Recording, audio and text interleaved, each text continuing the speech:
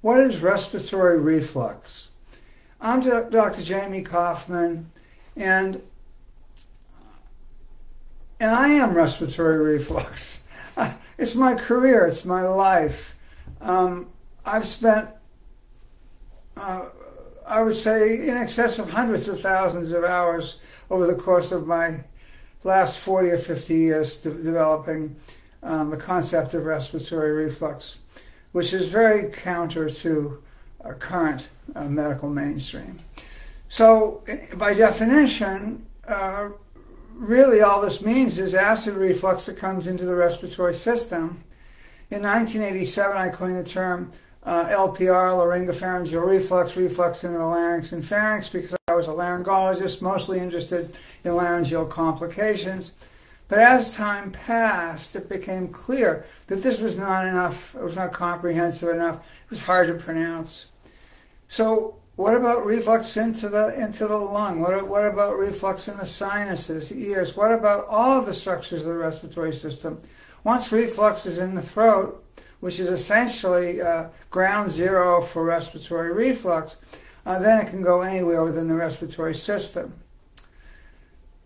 Here's the thing respiratory reflux can cause virtually all respiratory diseases and or um, accelerate them. For example, you don't want to have um, a, a, COPD um, and reflux because the reflux will accelerate uh, the COPD even if you stop smoking 25 years ago.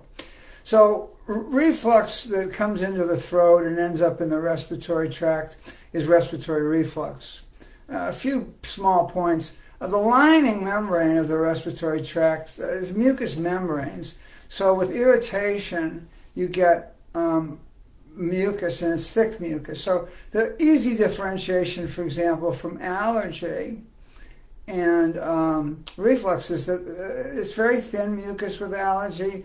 Other signs and symptoms of allergy, puffy eyes, itchy sneezing, nasal congestion. Um, allergies, uh, very, very thin, clear mucus, never gets on the vocal cords to cause problems. The thick white mucus that you see from top to bottom of the pharynx and in the larynx, uh, that's reflux. And to my uh, uh way of thinking, in my experience, there's no other cause. So there's not a disease that cause, causes postnasal drip. So those of you who say, oh, my reflux is doing great, but I still have postnasal drip, the answer is you still have reflux. Maybe it's better. After the 1987 term came along, um, there was real pushback from the gastroenterologist. The gastroenterologist didn't want to use my term, uh, even though I published uh, a lot. I've told you in the past I put together a five-year plan um, in 1987 uh, to look at all aspects of respiratory reflux, everything from epidemiology to basic science, cell biology, and so on. And it took 15 years to do it. Um, much of the cell biology um, has not been read by anybody because otolaryngologists don't read basic science and gastroenterologists and such don't read otolaryngology literature.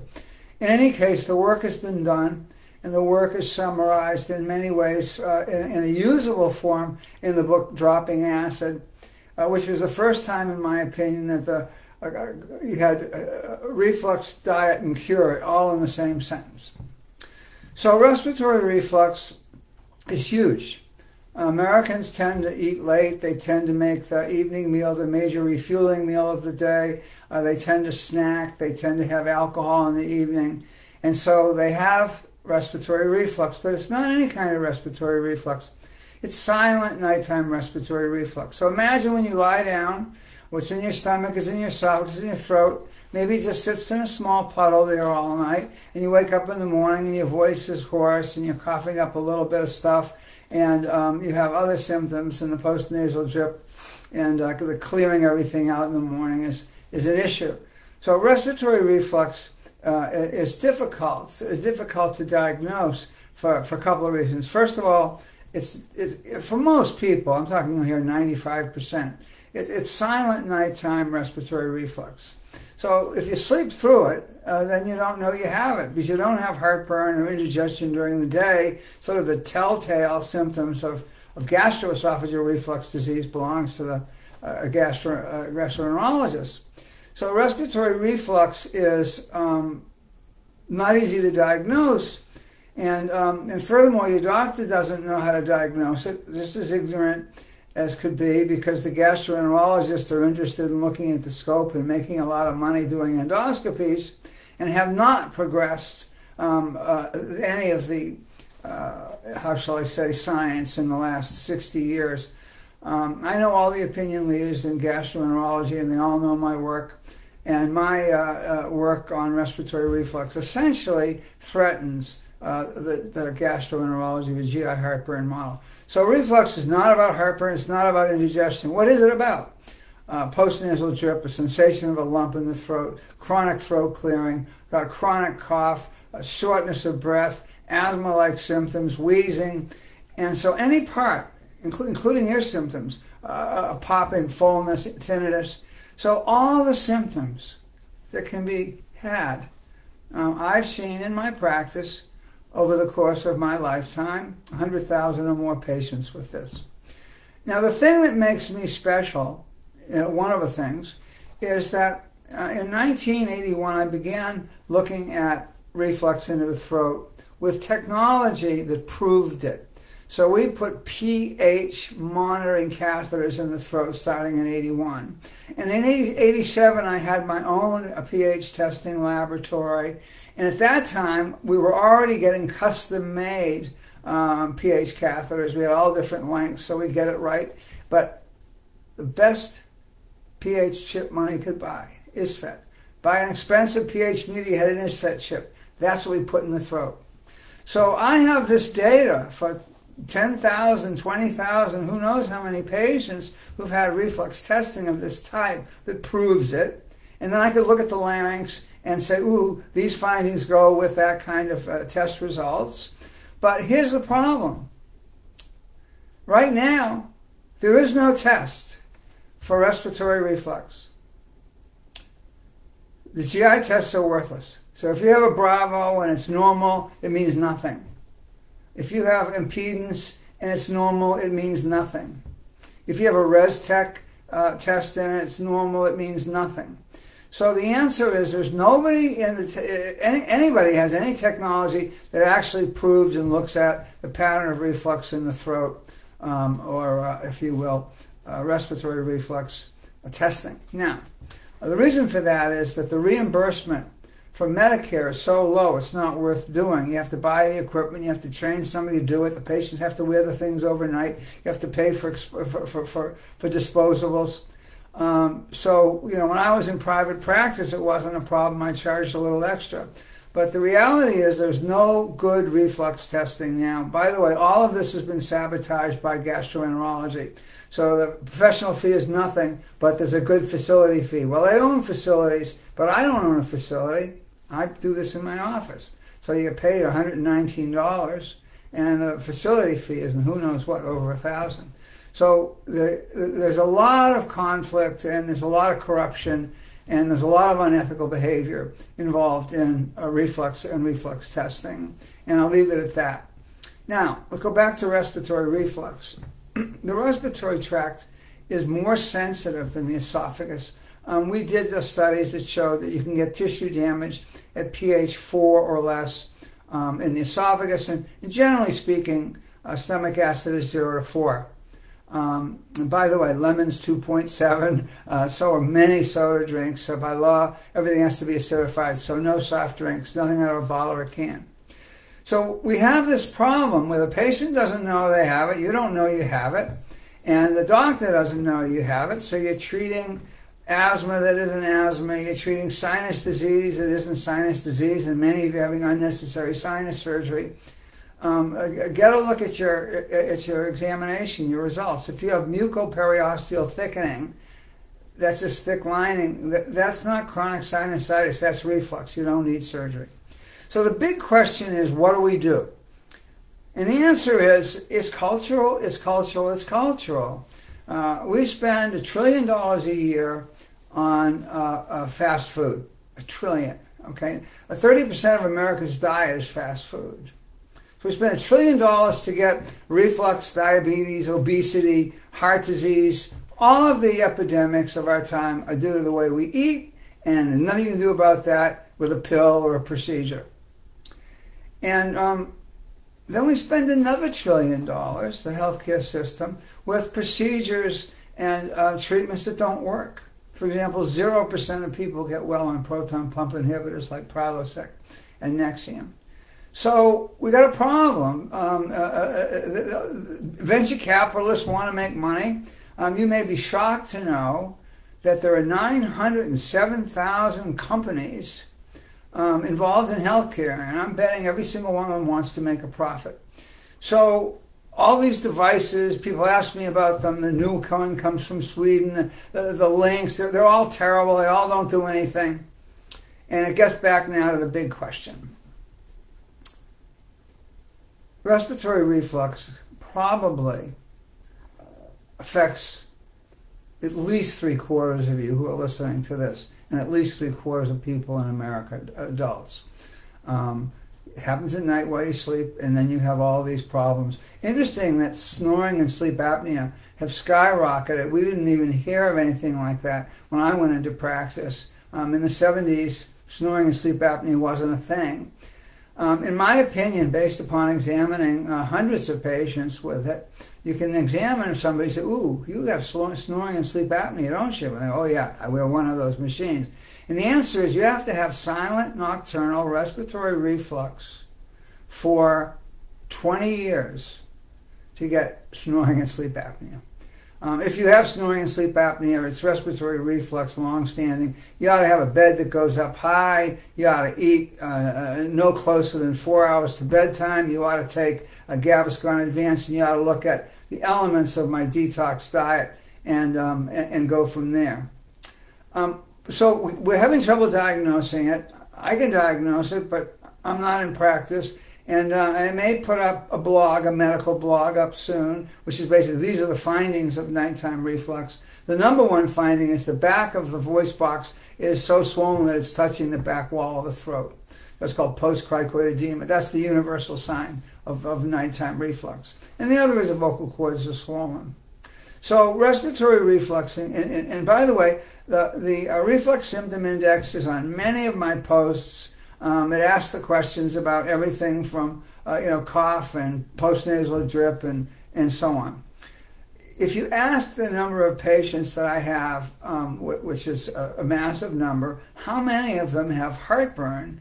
Most of them say never had heartburn. Occasionally, some will say, "Oh, I have heartburn once or twice a week or a month." So this is a silent reflux from that point of view as well. Now, with all that said, here comes the hard part. Remember, I said reflux was not a medical condition. It's diet and lifestyle. Remember, I said 100 million of you have it.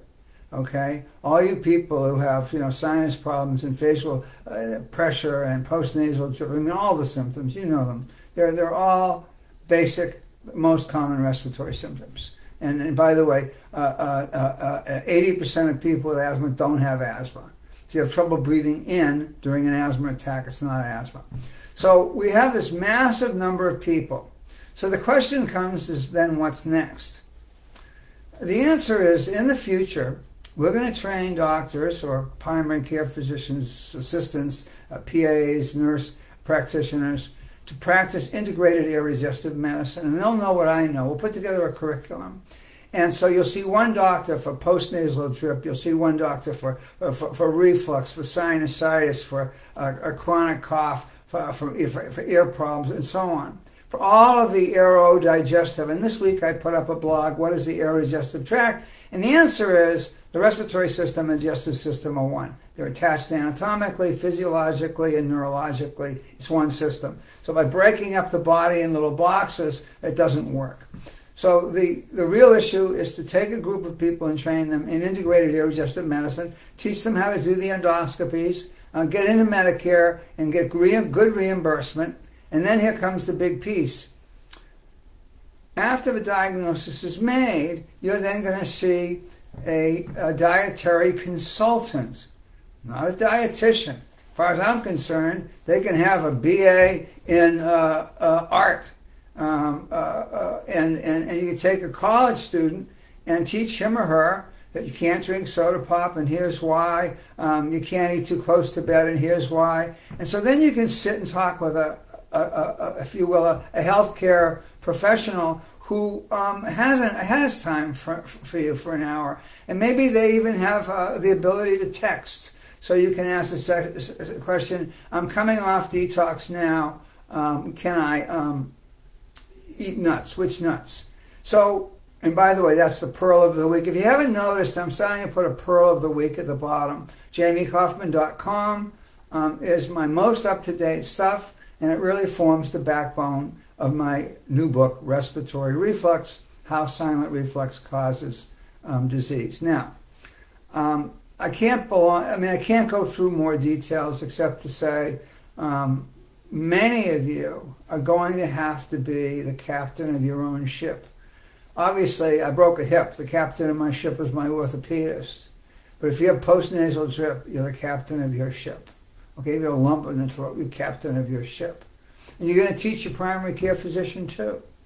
You're going to ask for a barium swallow esophagram, upright and supine, standing and lying down um, at some point after treatment to see if you still have reflux and to what degree. What degree do you have esophageal dysfunction? Does the upper valve work? So the point is that uh, there's a big problem and it's not easy to diagnose and treat. I'm not going to say more about it today, but I shall. And I want to just make a comment. Since it's all about diet and lifestyle, people keep asking me to have a whole session on food. The problem with reflux is that everybody's different. So, for example, my trigger foods were um, a green pepper chocolate, um, a, a, a uncooked onion, and um, a white wine. Just a little bit, and this sent me off into reflux. So, what I'm saying to you is there's so much variation that you're going to have to educate yourself. I strongly recommend that you act like a medical student and look at jamiekoufman.com with the idea that you're going to spend enough time, maybe an hour or two hours a day for a week or so. If you do that, um, you will not only be able to help yourself and your family, but you'll know more about reflux than 99% of the physicians in America. So today we live with uh, respiratory reflux. I feel a little bit like an outlier, which is just fine. Um, the whole world thinks the world is flat, the medical world, then I'm telling them it's round. So there's going to have to be restructuring of uh, specialists. There have to be restructuring and, and repricing within within uh, Medicare. So now I'd like to answer some questions, and I'd like a couple of comments about questions. I want to reiterate again that um, so many of these questions are, are idiosyncratic. For example, um, when I went, I love apples. When I went back to eating apples after my detox, when I had reflux, um, I used to eat Red Delicious as a kid. I loved them, and Red Delicious gave me reflux, but Fuji's didn't. So I've become a Fuji fanatic. I go to play golf. I cut them up in little pieces, take the baggie with me. Um, I also have my own alkaline water. Um, and uh, read. There are three articles on alkaline water. I think I'm going to write a fourth that summarizes everything. Um, and there are a lot of little tricks in alkaline water. Um, uh, here's one for smoothies. Uh, put your alkaline water in here and add it with your almond milk and so on. So uh, the questions um, about food are difficult because they, they're not universal. Second, make the questions shorter. So I don't look at your questions over the course of the month. My assistant basically culls them and puts them on a piece of paper you know, that, that, that, that, looks like this, that's six pages long. And I have questions that are more than a half a page long. So keep your questions short. For example, the last one I'm going to answer has to do with, uh, with, with histamine uh, intolerance and um, how little I know about it, but, but, some, but a few things. So try to make the, answer, the, the questions shorter and um, I don't know everything so many of the things that I've learned over the course of my career as a physician, I've learned from patients. And I've listened to patients. And not only have I listened to patients, I've asked patients. I, I ask questions like, by the way, do you have any trigger foods? What are they? I've asked patients, and that is after they're on treatment. At the beginning, people think everything's a trigger food. So, so much of what I've learned, here's an example of a really cool thing. Um, a water company called Evamor in St. uh, in uh, New Orleans, uh, the head guy called me and said, you know, some people are telling us that our water takes away their heartburn.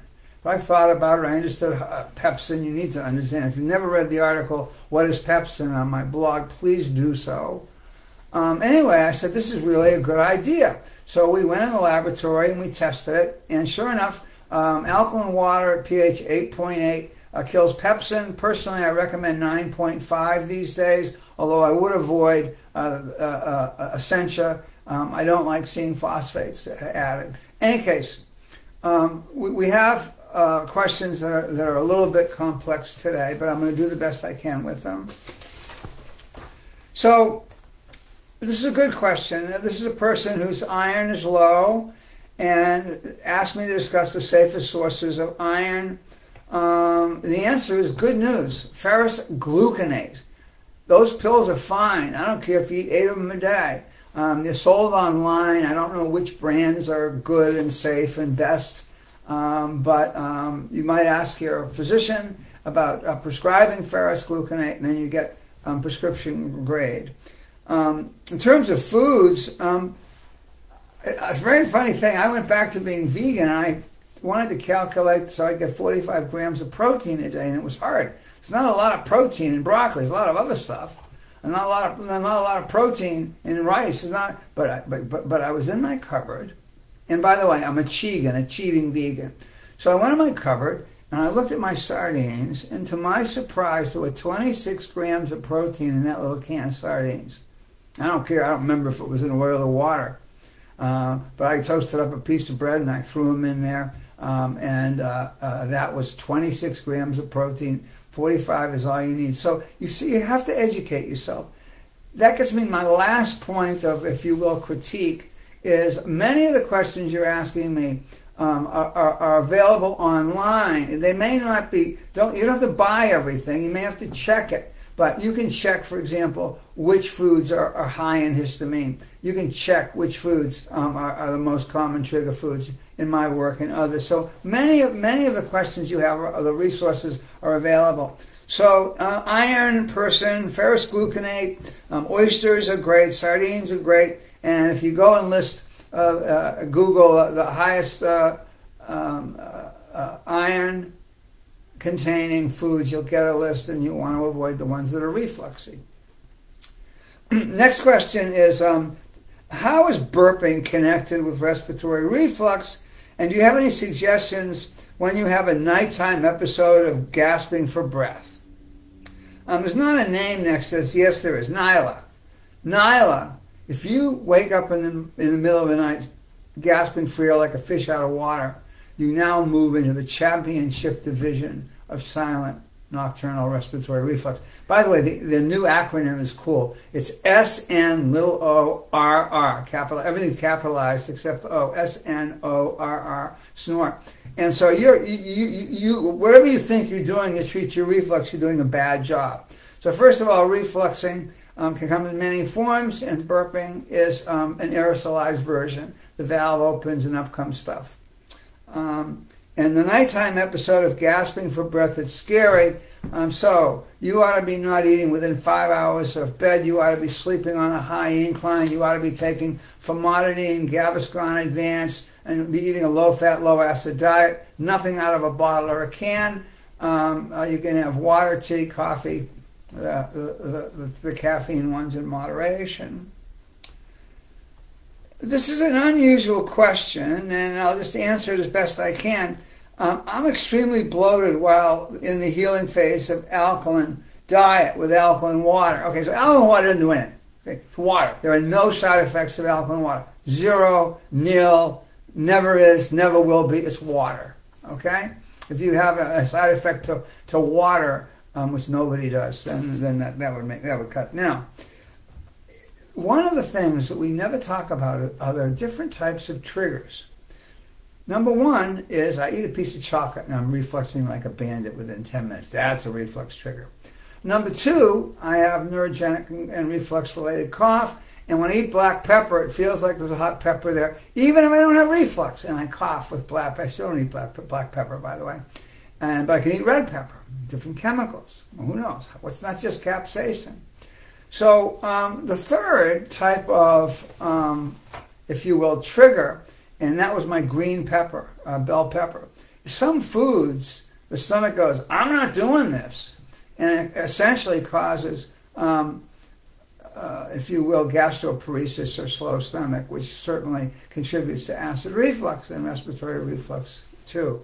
So if you're having a bloated stomach, you need to start doing elimination diet and seeing uh, if there are foods that are producing this within your diet that you think are otherwise safe.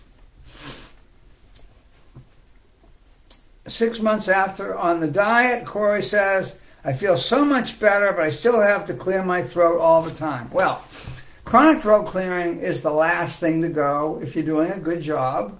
Um, maybe you still have reflux. Um, and furthermore, it's worse during the winter. You may have to wait till spring because we get baked and all of our mucus gets thick and hard to mute. Uh, I've given up trying to do the, uh, the, the thing that puts out the humidity all the time in my bedroom. But um, it may just it may take several more months. Um, but the other question is maybe your treatment isn't as tight as you think. Maybe you're and by the way, you only have to reflux a few times a month. Let's just say every other week plus um, to keep um, thick postnasal drip going. So this gets back to that question: Is it possible to make a list um, of all the foods, um, especially the stuff that's been covered? Um, other than the detox diet, uh, Dr. Koufman's acid reflux diet, which is the second book uh, that goes with uh, dropping acid, addresses um, transition, but if you're in a detox program, at the end of the detox, you can't just go back to normal. You change one thing at a time. I'm getting close to the end. You only change one thing at a time. You don't like sleeping high? Go down low. Stay there for a few few nights. Oh, is the reflux coming back? Wake up in the morning. Hmm, you need to buy a bed that goes up and down. Or for me, the first thing I wanted is more fruits. All the fruits and all the vegetables. Acidity is listed on an on, an, on a blog on a post, and um, I'm a big, big, big fan of, of uh, pears and apples. Um, um, and I never liked citrus, which is good because for those of you who like citrus, it's no good for refluxes. You might as well be drinking stomach acid. So, um, by the way, the bloated person wants to know can Beano and Gas X be taken? And the answer is absolutely yes. This one's funny. I like this one a lot. Is there a tiny bit of chocolate one can have before it hits the threshold, causing a serotonin surge and relaxing the. So it, it's actually theobromine. Um, how big is that piece of chocolate? And the answer is no chocolate. If your reflux is out of control, um, certainly um, of the trigger foods, alcohol is number one, and chocolate is pretty close to number two in terms of universal trigger foods. Um, it's high fat, and um, milk chocolate is worse than you asked about, and uh, uh, caffeine and theobromine. So, um, sorry, but for you chocolate lovers, get your reflux fixed. I mean, I don't have reflux anymore, and I eat it. Um, I got to tell you, those uh, um, uh, Ghirardelli milk chocolate squares with the caramels are just uh, to die for. Um, I'm not going to address this question, but I want to bring it up. I have no reflux, but burning when speaking and swallowing. Currently on 2100 of gabapentin and 10 milligrams of amitriptyline daily. Symptoms have slightly improved. You need a bigger dose. If your doctor doesn't want to give you a bigger dose, ask why. There's a reason why. When you think about gabapentin, this is a treatment. By the way, there's an article on three things I treat neurogenic uh, burning throat, voice use pain, and neurogenic cough. That's it. All the rest of you have had little vagal neuropathies, forget about it. You don't need treatment. Get your reflux fixed. Um, I've told the story before, but I had a small woman with burning throat who otherwise had had three unnecessary surgeries and a lot of chaos uh, delivered by the healthcare system, who ended up uh, getting relief with 8,000 milligrams a day. So uh, she took 1,600 five times a day. I think that computes. So the answer is there's a reason why they make a 100 milligram and an 800 milligram pill and the ones in between because the doses are different. Maybe it's just how they're absorbed, the bioavailability. So, you know, you may you probably need to go up to 2400 and see how you do. And uh, you say you're having mild side effects, but you actually um, uh, don't talk about what that is. So, By the way,